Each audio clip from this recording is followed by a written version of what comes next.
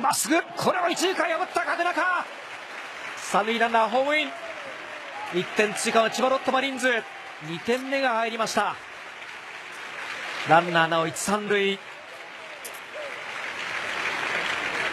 思い切って角中がここ引っ張ってきました。狙ってきましたよね、ええ。まあ、でもやはりシュート回転して真ん中付近なんですよね、え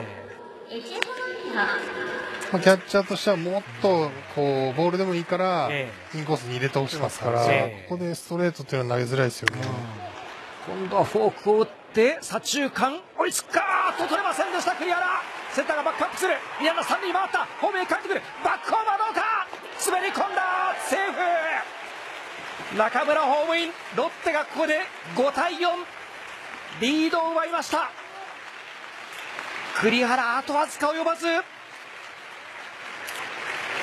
中村が一気にホームへ帰ってきました。角中昨日京都大活躍。左中間の真ん中。